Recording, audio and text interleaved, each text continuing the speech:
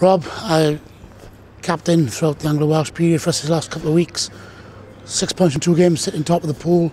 Not a bad start with halfway through the tournament. No, that's good to hear. Uh, wouldn't have wouldn't have thought we'd be top of the group, but uh, we were disappointed last week not to come away with the win. So that bonus point could could come in handy last week, and obviously a good win here tonight against a, a decent Blues team at home. A good performance here tonight, and we've stuck at it. The good young boys really sticking to the task. You know, got a bit sticky in that middle third, as it were, but really pull away at the end. Yeah, we were pretty disappointed going in half time, as as they probably were. Um, we felt we fed them too much and didn't really get our game going. So uh, we just uh, concentrated on keeping keeping some of the ball in hand, and uh, we got some some deadly finishes as you've seen.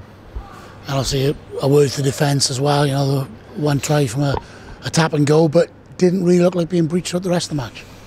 No, um, you know, we're pretty comfortable with what we've got to do and what we expect of each other, and as long as everyone everyone slots into that, then we're uh, we're a tough side to break down. So uh, Brad's going to be disappointed that we conceded a, a quick tap. Um, it's the last thing you want to do, run back 10 when you're uh, when you're knackered. So we'll we'll have a look at that and try and try and keep Glasgow out next week.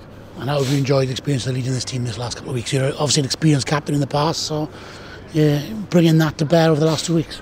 Yeah, obviously Chaffin and Steve asked me and Tom Smith asked me. Um, bit of a shock, um, since I haven't been here too long, but uh, you know I'm happy to help where I can, whether that's uh, down the bottom or, or leading the team.